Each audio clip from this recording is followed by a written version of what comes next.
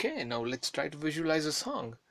I mean, we, we, we visualize waveforms. Now, song shouldn't be much any much different, much different because they're just a superposition.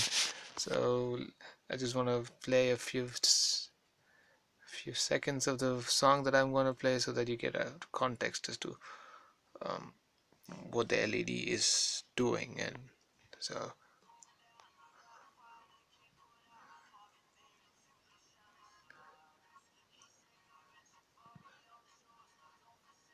this is because it's night by Vichy, Vichy so let's play the same thing on my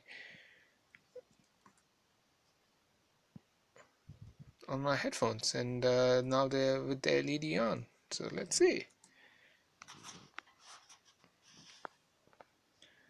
It's the same part though.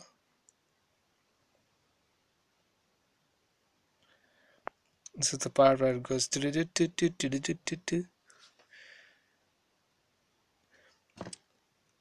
like I mentioned before, this LED are both LEDs are from different manufacturers, hence the, the um, hence the difference in intensities. But so this is this is how I mean, so we can sort of like visualize songs as well. So it is not restricted to waveforms, and so that's that's something to have fun with.